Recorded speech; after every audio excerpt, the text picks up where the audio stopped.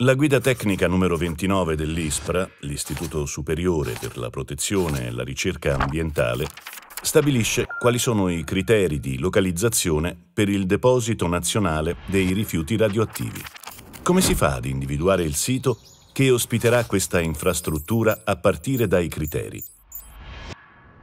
Il decreto legislativo numero 31 del 2010 prevede che sia Sogin, la società pubblica responsabile del decommissioning degli impianti nucleari italiani e della gestione dei rifiuti radioattivi, a elaborare una mappa delle aree potenzialmente idonee ad ospitare il deposito. Una volta elaborata, Sogin consegna quindi la proposta di mappa, che viene denominata dalla legge CNAPI, Carta Nazionale delle Aree Potenzialmente Idonee, all'attuale ente di controllo ISIN, l'Ispettorato Nazionale per la Sicurezza Nucleare e la Radioprotezione. Il compito dell'ente di controllo è verificare la corretta applicazione dei criteri di localizzazione.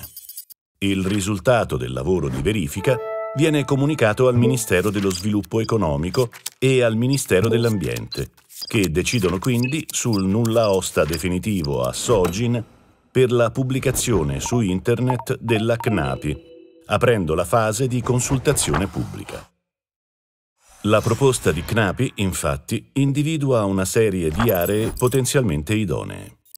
Dopo un lungo percorso di consultazione e di dibattito con i territori interessati, Solo una fra queste aree è scelta per ospitare il deposito unico nazionale per i rifiuti radioattivi italiani.